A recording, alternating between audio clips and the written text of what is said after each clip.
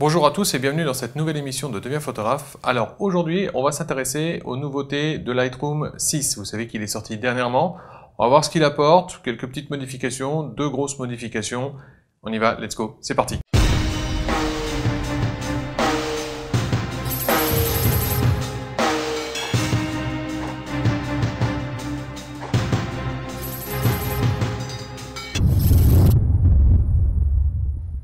Donc, comme je vous le disais, la nouvelle version de Lightroom est sortie, c'est une version majeure. Quand on passe d'une version 5 à une version 6, c'est une version majeure. Les corrections ou les mises à jour, par exemple, pour les nouveaux RAW qui viennent de sortir sur les nouveaux appareils photo, on va parler de 5.4, 5.5 et ainsi de suite, mais les versions 5, 6, 7 et ainsi de suite sont des versions majeures. Généralement, on appelle version majeure bah, les versions qui apportent réellement quelque chose de nouveau euh, dans un logiciel. On va voir que ici, il y a quelques trucs de nouveau, deux principaux, euh, un troisième qui est assez intéressant aussi pour le développement. Ensuite, après, ça va se situer sur des petits trucs mineurs à côté. Alors, pour répondre aux questions, il existe une version Lightroom 6 et une version Lightroom CC. Il n'existe pas que la version CC. Vous pouvez très bien retrouver la version Lightroom 6 sur, euh, le, comment sur le site d'Adobe. Si par exemple je vais sur le site d'Adobe comme vous le voyez ici, eh bien c'est assez simple, ce que vous allez faire c'est que vous allez descendre en bas de cette page ici, hop, si je le sélectionne, ce sera mieux. Voilà, vous allez descendre en bas de cette page ici, quand vous arrivez, vous tapez simplement euh, Adobe Lightroom 6 euh, par exemple, vous allez arriver sur cette page ici qui est euh, la Photoshop Lightroom, Product Photoshop Lightroom en FR, en français, et vous allez tout en bas, et vous allez voir que ici, là, vous voyez, vous avez un Lightroom 6 ici, donc il suffit de cliquer sur Acheter ici, et quand vous allez arriver sur cette page ici, vous allez pouvoir choisir bah, ce que vous décidez d'acheter, si vous décidez d'avoir une mise à jour ou si vous préférez avoir le logiciel complet. Donc quand on a un clic ici, voilà, alors ça met un peu de temps à charger, on arrive ici euh, sur la page Lightroom et vous arrivez ici, vous cliquez simplement sur modifier ici et vous choisissez donc ici si euh, c'est une mise à jour ou si vous préférez avoir la version complète. C'est aussi simple que ça. Donc il existe bien une version 6 indépendante qui n'oblige pas à être sous la version CC. Je rappelle que la version CC c'est pour le cloud, c'est-à-dire qu'en gros c'est connecté. Par exemple, une des grandes nouveautés de Lightroom 6 ici c'est qu'on peut euh, synchroniser les bibliothèques et mettre des commentaires par exemple sur les différents euh, les différentes photos en les partageant sur les réseaux sociaux et vous aurez ces commentaires là en bas de euh, Lightroom.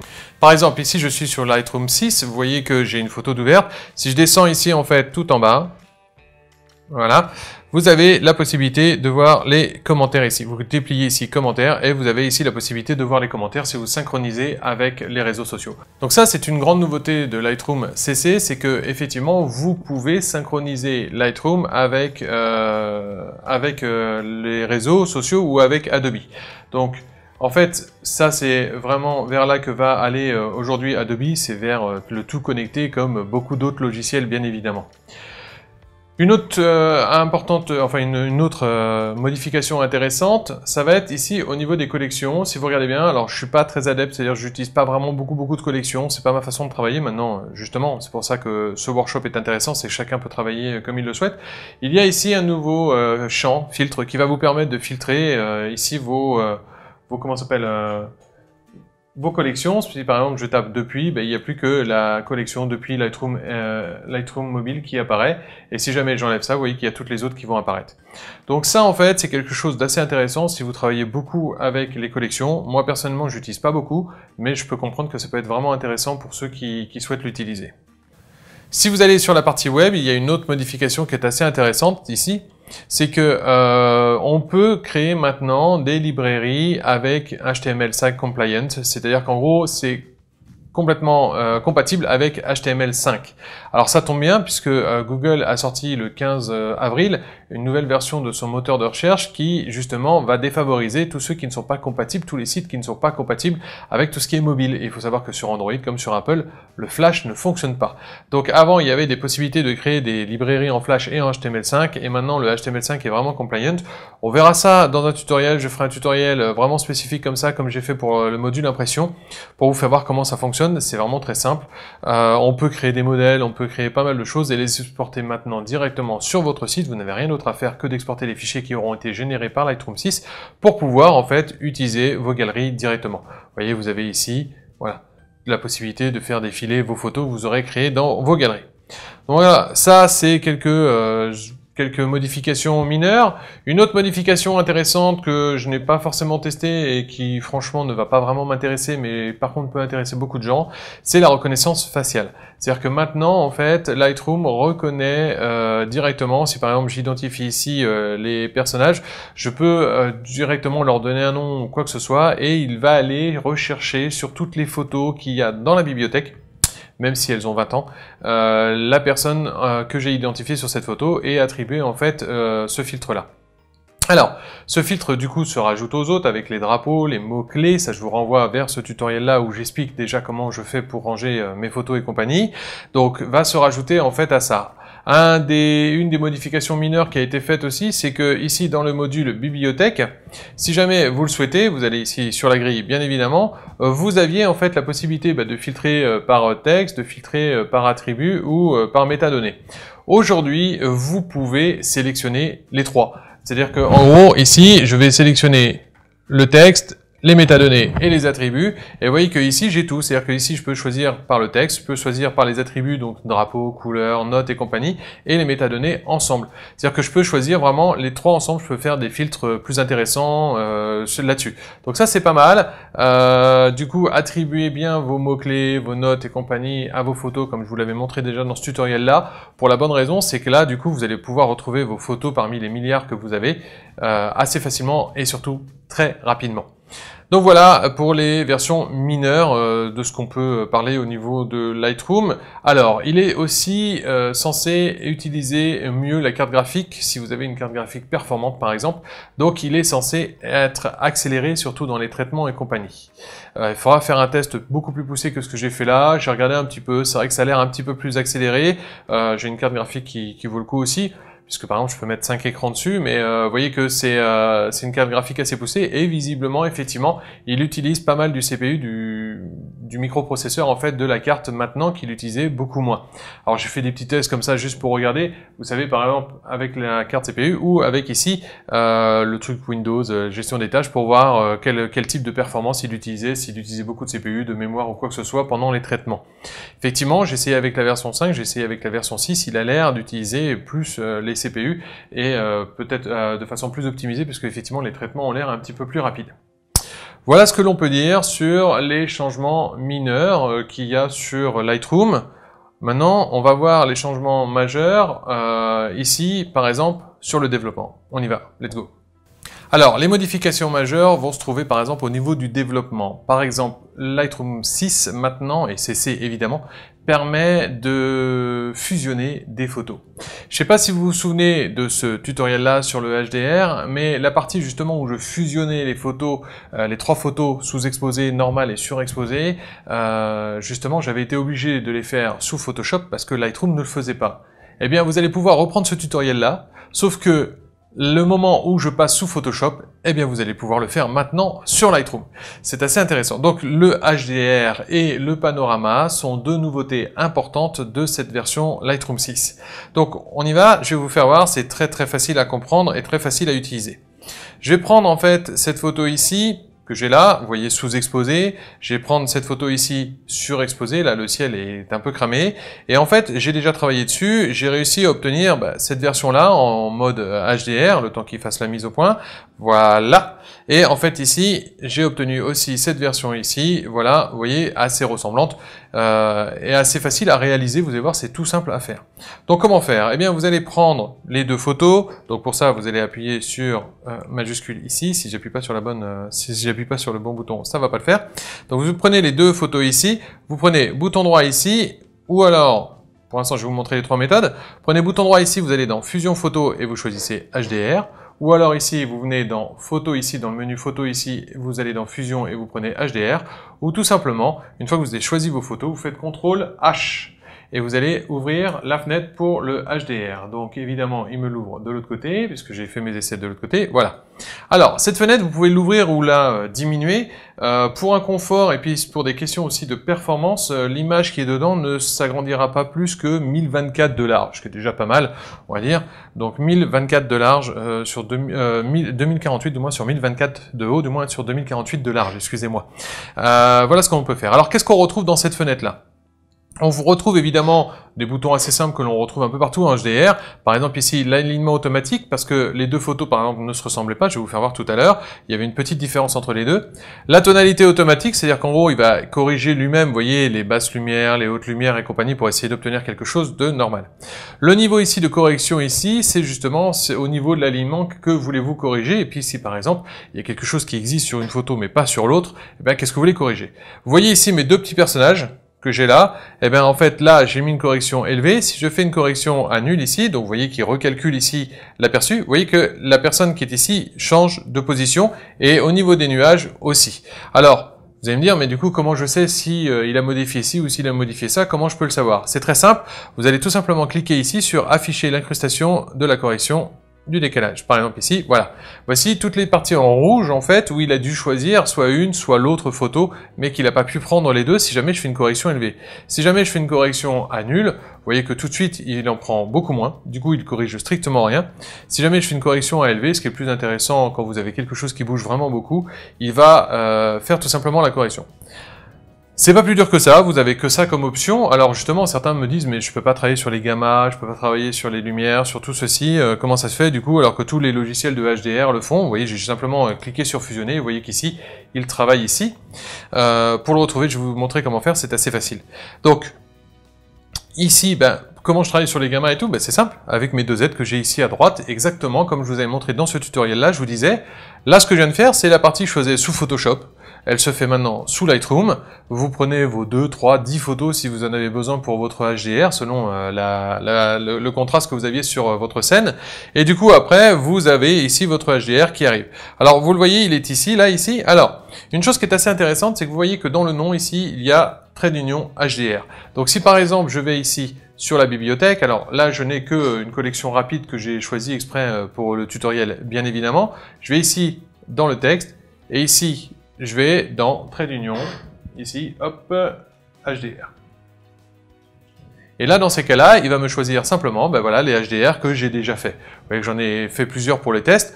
Donc voilà les HDR que j'ai déjà fait. Donc vous choisissez ben, celui qu'on vient de, créer maintenant. Et après, ben, le travail, on va pas le faire maintenant pour la bonne raison, c'est que justement, c'est le même que ce tutoriel-là. Je vous dis, la seule différence, c'est que la partie que je faisais sous Photoshop et qui ne me servait qu'à une chose, c'était fusionner les photos, euh, je la garde ici. Alors, du coup, il crée un DNG.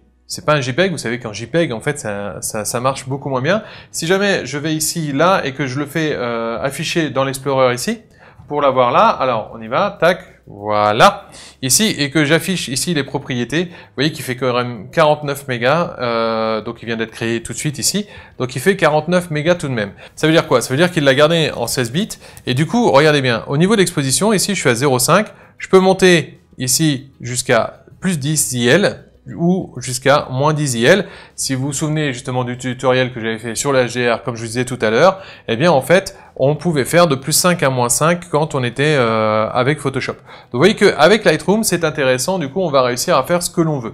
Donc voilà ce que l'on peut dire pour le HDR, c'est pas très compliqué. Euh, la seule chose qu'il fait au niveau du HDR, c'est tout simplement qu'il fusionne les photos ensemble. Le reste, en fait, eh bien, vous allez le travailler exactement comme on le faisait avant.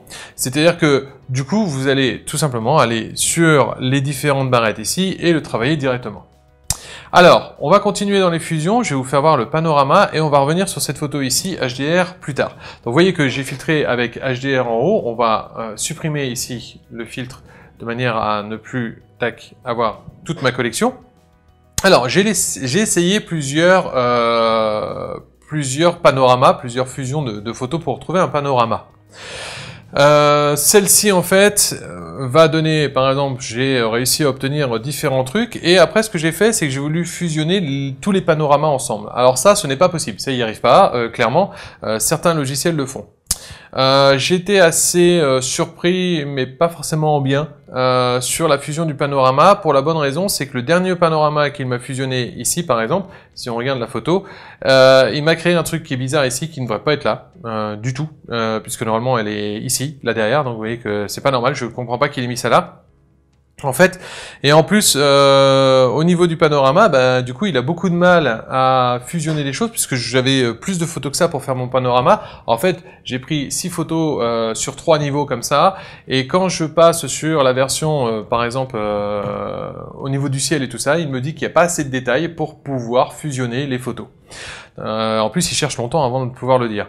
Résultat des opérations, je suis assez surpris puisque j'ai des logiciels, moi, qui servent à créer des panoramas qui y arrivent très bien. C'est-à-dire que ce panorama-là, je l'ai créé, il est en 18 photos normalement, je l'ai créé, ce qui me donne un 16 neuvième en fait, et euh, ça a fonctionné très très bien avec d'autres logiciels. Donc on verra s'ils améliorent le logiciel, mais vous allez voir que bon, déjà pour la plupart des choses, c'est assez, assez sympa. Alors, je vais vous faire voir en fait avec les photos qui m'ont permis d'obtenir euh, celui-ci. Le problème que j'avais là, vous avez reconnu évidemment le Mont Saint-Michel, c'est que euh, quand j'ai fait mon panorama ici comme ça, j'étais sur trépied bien évidemment, mais avec le sable qui bouge et le mouvement, en fait, ça a un peu bougé la caméra. Du coup, je me suis dit, ça peut être intéressant ici pour voir si ça va fonctionner ou pas. Alors, je pars ici de quatre photos, c'est-à-dire je pars de celle-ci ici et je tourne petit à petit vers la droite ici, vous voyez, du, du monument. Donc ici, ce que je vais faire, c'est que je vais prendre toutes les photos ici.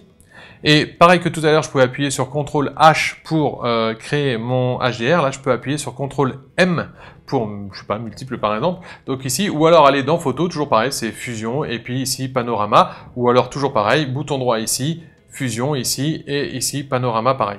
Vous avez une fenêtre qui va s'ouvrir ici qui va décider si vous voulez faire un panorama sphérique, cylindrique ou euh, en perspective. Alors en perspective, en gros, c'est comme ça. Sphérique, ça va être comme ça. Et euh, cylindrique, en fait, c'est en rond comme ça. C'est par exemple quand on est en haut et puis qu'on fait euh, plusieurs photos pour avoir un panorama complet comme ça. Donc là, moi, j'ai laissé sélection automatique, c'est-à-dire qu'il le fait lui-même. Et voilà ce qu'il me donne. Vous avez ici ben, le résultat des différentes photos. Alors tout a l'air à sa place. Euh, par contre, vous voyez qu'ici, ben, je vais avoir un problème si je recadre ici. On va voir ici. Donc pareil, je fais fusionner.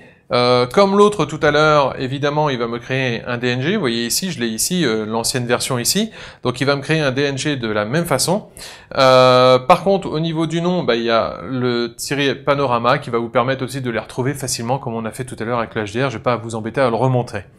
Par contre, ben regardez, si jamais ici je veux recadrer euh, au niveau de mon panorama, je vais aller évidemment dans le développement ici, je vais ici dans le recadrage ici, et ce que je vais faire, c'est que je vais prendre les parties en fait qui sont toutes communes. Voilà, donc on va mettre ça comme ça. On va essayer d'avoir le plus grand euh, panorama possible.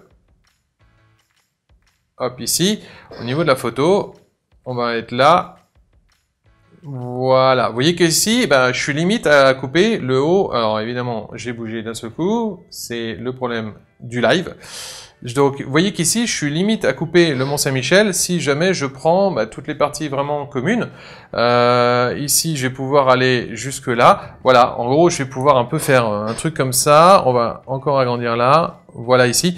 Voilà, je peux pas faire plus grand que ça. Donc là, je valide évidemment. Voilà mon panorama. Alors, après, comme c'est euh, comme le reste du 16 bits, je peux travailler évidemment au niveau de l'exposition ici. Alors ce panorama par exemple, je l'ai pris normalement en HDR, c'est-à-dire que là si je veux faire les choses bien, il faut d'abord que je crée mes HDR et les HDR que je vais créer, je vais les mettre ici dans le panorama et tout ça depuis Lightroom sans passer par Photoshop. C'est assez génial. Donc ici, bah, c'est simple, hein, on va récupérer un petit peu les hautes lumières, on va surtout récupérer les ombres ici pour éclaircir, on va récupérer un petit peu les blancs pour éclaircir aussi un petit peu, on va euh, éclaircir un petit peu encore un peu les noirs, et vous voyez, on arrive à récupérer quelque chose. Alors, on va pas faire tout le travail de la photo puisque c'est pas le but ici, c'est de présenter les nouveautés de Lightroom 6, mais vous voyez qu'après, une fois que vous l'avez fait, bah, vous travaillez simplement sur Lightroom comme vous travaillez habituellement sur Lightroom sans aucun problème. Voilà. Alors, on a vu le HDR, on a vu le panorama, maintenant on va voir une dernière modification qui est assez intéressante. Je vais revenir en fait sur euh, le HDR que j'ai fait tout à l'heure ici. Voilà, donc vous voyez, on a toujours dans le nom HDR, comme ça vous êtes sûr que c'est celui-ci. Et vous voyez qu'ici, j'ai un haut assez clair, j'ai un bas euh, correct, on va dire. Donc ce qu'il faudrait, c'est abaisser en fait la luminosité du haut, mais pas le bas. Vous allez me dire, on va prendre un, filtre gradué dans ces cas-là. C'est exactement ce que je vais faire. On va prendre ici le filtre gradué, donc je déplie le filtre gradué ici. On en crée un nouveau, bien évidemment. Et ce que je vais faire, je vais descendre ici, hop, s'il me fait pas ce que je veux, ça va pas le faire. Voilà. Je vais descendre ici la luminosité de manière à avoir, vous voyez, à descendre ici euh, toute la luminosité sur le ciel. Par contre, vous voyez que le problème, même si euh, je descends ici la luminosité, ben, je vais descendre en fait une partie aussi sur la tour et ça, ça ne m'intéresse pas. Avant, pour le faire, on n'avait pas le choix. Il fallait passer sous Photoshop, c'est-à-dire si je voulais supprimer la tour ici du filtre gradué, c'est-à-dire je voulais pas abaisser la lumière sur le filtre gradué, euh, par le filtre gradué du moins sur la tour, eh bien en fait j'avais pas le choix, j'étais obligé de, de, faire ça en fait sous Photoshop. Vous n'avez plus besoin. Vous allez ici un nouveau truc qui s'appelle le pinceau tout simplement, et vous allez créer un pinceau. Donc vous voyez ici c'est un pinceau euh, comme on en voit plein avec les mêmes options que vous avez ici, la taille, le contour progressif et le débit comme d'habituel euh, ici. Par contre, alors on a le masquage et la densité évidemment, je, je l'ai pas dit mais euh, vous l'avez bien compris. Et on peut par exemple ici effacer. Donc si je clique ici sur effacer, vous voyez que c'est un moins et non plus un plus que j'ai là. Je vais augmenter un petit peu la taille de, mon pinceau ici. Et regardez, ce que je vais faire, c'est que je vais passer ici. Alors, je vais mettre un débit à 100% par contre ici, tac, avec euh, un contour progressif du moins un peu plus petit, un débit euh, ici à 100%, ici. Et donc ce que je vais faire, c'est que je vais passer ici, et je vais supprimer en fait toute la partie là, du masque ici. Donc en gros, moi ce que je veux, c'est ne pas assombrir en bas. Alors je vous rappelle, soit vous cliquez ici, afficher l'incrustation du masque sélectionné pour l'avoir en rouge, soit du coup vous appuyez sur la touche haut, hein, c'est toujours pareil, ça on va pas, on va pas y revenir à chaque fois. Vous voyez ici, voilà, je supprime en fait tout le masque ici qu'il y a sur le bas du paysage, puisque je ne veux pas qu'il soit sur le bas du paysage ici, voilà. Ensuite, pour finaliser ici, ce que je vais faire, c'est que je vais, euh, hop, on en a oublié ici, voilà, on va faire ça proprement, voilà ici, tac, ici, voilà. Je vais appuyer en fait ici, je vais cliquer maintenant l'option ici, euh, masquer automatique, je vais diminuer un peu la taille de mon pinceau ici et je vais m'attaquer au toit de la tour ici. Vous allez voir que c'est très très simple. Alors comme d'habitude, vous faites juste ça euh, proprement, mais Lightroom va reconnaître de toute façon les contours hein, ici de, de la tour. Et regardez bien, hop, il supprime en fait ici tout ce que je ne veux pas assombrir ici sur ma tour. On va diminuer encore la taille ici pour faire le haut. Tout ce que je veux pas supprimer ici sur ma tour ici, paf, je vais l'enlever ici de manière à ce qu'il ne me supprime pas ou qu'il m'assombrisse pas du moins euh, cette partie ici. Alors vous voyez j'ai un peu dépassé, c'est pas grave, vous reprenez ici A par exemple, et ici je vais remettre ici le débit, alors par contre à 100%, voilà, et je vais remettre ici, voilà, ici de manière à refaire euh, la tour correctement. Donc vous voyez c'est très simple, j'appuie ici sur effacer, c'est un petit outil tout bête, mais franchement qui manquait vraiment. Parce que voilà, quand on a quelque chose comme ça, qu'on va assombrir le ciel, mais qu'il y a quelque chose sur le ciel que lui, on ne voudrait pas assombrir, eh ben, le filtre gradué, c'était bien, mais du coup, il fallait faire ça plutôt au pinceau. Mais dans ces cas c'était plus graduel. C'est-à-dire que en gros, on voyait euh, du coup la rupture, même si on mettait un contour progressif au pinceau. Donc ça, c'est pas mal. C'est quelque chose d'assez intéressant. Vous voyez qu'ici, si j'enlève euh, le masque euh, pour, pour faire voir en fait, pour faire voir en fait tel que c'est, ben, vous voyez qu'ici, hop, on va l'enlever s'il veut bien. Voilà, ça, ça rame un peu. Alors c'est pas dû au fait que le nouveau Lightroom est plus lent, au sens contraire, est plus rapide. C'est dû au fait que je filme aussi sur un grand écran euh, à côté. Donc ici, bah, vous voyez que voilà, j'ai assombri le ciel. Si on enlève avant, après, sans pour autant avoir assombri le bas. Donc c'est assez intéressant. On arrive à faire quelque chose d'assez euh, sympathique maintenant, sans aller sur Photoshop. Donc ça c'est vraiment super sympa.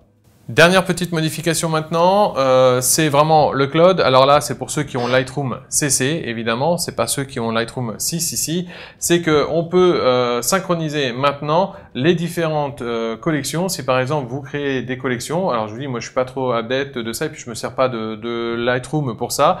Ici, vous pouvez tout simplement synchroniser ici euh, vos collections pour aller vers, euh, pour aller les mettre sur Internet. Donc il suffit de les mettre ici et vous, vous allez ici cliquer vers votre tablette. Vous voyez ici le petit symbole là, et eh bien il suffit de vous connecter et de cliquer ici pour le faire. C'est aussi simple que ça. Et vous allez avoir vos photos absolument partout depuis votre tablette. Il suffit de, de, de mettre en fait l'application euh, Lightroom. Je ferai sans doute un tutoriel là-dessus parce qu'il y a quelques fonctions intéressantes, même s'il ne fait pas tout. Mais euh, par contre, il refait le recadrage, il fait euh, les différentes options qu'on peut avoir, telles que le contraste, la saturation, la netteté, euh, ce genre de choses. Il n'y a pas toutes, toutes, toutes les options, mais il y en a énormément sur l'application de Lightroom mobile, qui sont vraiment intéressantes. Et du coup, euh, vous pouvez travailler vos photos, même comme moi quand je prends beaucoup le train en ce moment, puisque je fais en moyenne 4 euh, à 6 heures de, train par semaine. Et donc du coup, j'optimise mon travail en travaillant sur mes tablettes mes photos. Vous vous souvenez, ça je l'ai mis dans Lightroom 5 ici, dans le tutoriel euh, de Lightroom 5, des nouveautés Lightroom 5. On peut créer des miniatures ici, et donc il exporte en fait les miniatures tout simplement sur le cloud d'Adobe. C'est pour ça qu'il faut avoir un compte CC chez Adobe. Et en fait, ici, euh, je vais travailler sur ma tablette, et quand je vais revenir à la maison, du moment que j'allume ici, eh ben, ça va se synchroniser avec ce que j'ai modifié sur le cloud. Résultat des opérations, j'ai pu travailler mes photos en direct sur ma tablette et avoir le résultat déjà ici. Et ici, sur un bel écran bien calibré, je vais pouvoir en fait refinaliser mes photos correctement. Voilà ce que l'on peut dire de la nouvelle version de Lightroom. Elle est assez intéressante. Alors maintenant, j'ai déjà eu des critiques qui me disaient mais moi, je fais pas beaucoup de LGR, je fais pas de panoramique, du coup, à quoi ça sert? Effectivement, dans ces cas-là, il y a l'outil du filtre gradué avec le pinceau mélangé qui peut être intéressant, comme on vous voyait tout à l'heure, pour supprimer en fait du filtre gradué certains éléments, ou en rajouter, parce que là, on a supprimé la tour, mais j'aurais pu très bien faire un filtre gradué et rajouter en dessous d'autres éléments que je voulais dans le filtre gradué. Hein. Euh, en appuyant sur A, c'est-à-dire au lieu d'appuyer sur effacer, vous appuyez sur A ou B et vous allez pouvoir le faire. Le pinceau qui fonctionne dans le filtre gradué, comme on l'a vu, c'est un pinceau tout ce qui est de plus normal, qu'on a déjà vu euh, plein de fois sur euh, Lightroom. Donc voilà. Ensuite, après, bah, c'est le web. Euh, compatible HTML5 et c'est bien je vous disais parce que Google justement le 15 avril vient de mettre en place un nouveau moteur et si maintenant vous utilisez du flash sur vos galeries vous allez être fortement pénalisé c'est à dire qu'au niveau des résultats Google vous allez descendre. Donc c'est un truc tout bête mais voilà si vous savez pas programmer moi j'ai cette chance là de savoir programmer mais disons que si vous ne savez pas programmer faire vos trucs vous-même vous pouvez déjà euh, vous servir de ça il existe bien entendu sur Internet des tas de sites qui vont vous permettre de trouver des galeries gratuites ou payantes déjà préformatées. Je vous dis, je ferai un tutoriel là-dessus euh, si jamais ça vous intéresse. Lâchez une com, dites-le si jamais vous voulez apprendre le module web plus en détail. Je vous dirai exactement comment ça fonctionne. C'est assez facile d'utilisation et en plus, c'est accessible à tout le monde. On n'est pas obligé d'être photographe professionnel pour l'utiliser. Vous avez un blog, vous avez un site de famille où vous voulez mettre vos photos de famille en fin de réunion de famille ou vos photos de vacances. Eh bien, vous pourrez le faire très facilement. Il suffit de les créer là. Lightroom va vous créer les fichiers, vous les mettez sur votre site web et c'est terminé.